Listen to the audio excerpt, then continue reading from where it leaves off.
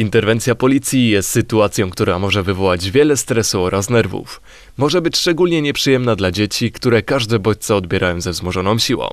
Komenda Miejska Policji w Bytomiu wraz z Miejskim Ośrodkiem Pomocy Rodzinie jako jedne z pierwszych w Polsce uruchomiły specjalny program, który ma pomóc najmłodszym osobom w trakcie przyjazdu policji. W roku 2011 y, ówczesna dyrekcja y, ośrodka razem z pracownikami analizując takie niefajne zjawiska, które się działy, y, y, a były mm, skutkiem y, interwencji, które policja prowadziła w środowiskach, gdzie są dzieci, y, doszli do wniosku, że byłaby potrzeba wprowadzenia nowego działania, dzięki któremu można by było zapobiec traumatycznym e, e, doznaniom dzieci, które niestety ale wytwarzają się w czasie interwencji policyjnej. Zajmą się tym dwuosobowe zespoły składające się z policjanta oraz jednego pracownika socjalnego Miejskiego Ośrodka Pomocy Rodzinie. By nie budzić dodatkowych złych emocji, policjanci, którzy biorą udział w akcji jako przyjazny patrol, poruszają się nieoznakowanymi pojazdami oraz nie noszą mundurów.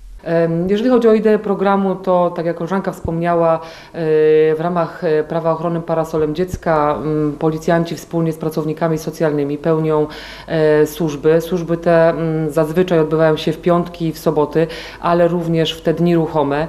E, Policjantami, którzy w patrolu, w e, tak zwanym przyjaznym patrolu, tak nazywamy to potocznie, pełnią służbę są zawsze dzielnicowi, a więc też osoby, które mają dobre rozeznanie w terenie, które znają środowiska, w których gdzieś występuje na przykład problem alkoholowy lub e, może dziać się krzywda e, dzieciom.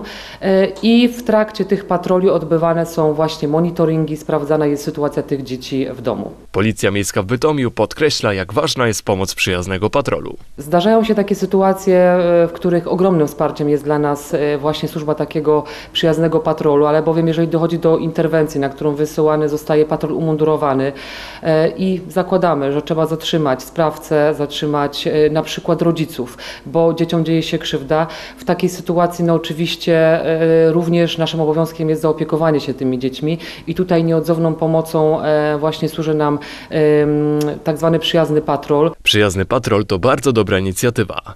Na przestrzeni lat dzięki jego działaniu przewieziono m.in. 79 osób do Izby Wytrzeźwień, 820 dzieci przekazano pod opiekę najbliższej rodziny, a 155 dzieci umieszczono w placówkach wychowawczych. Sporządzono także 21 niebieskich kart.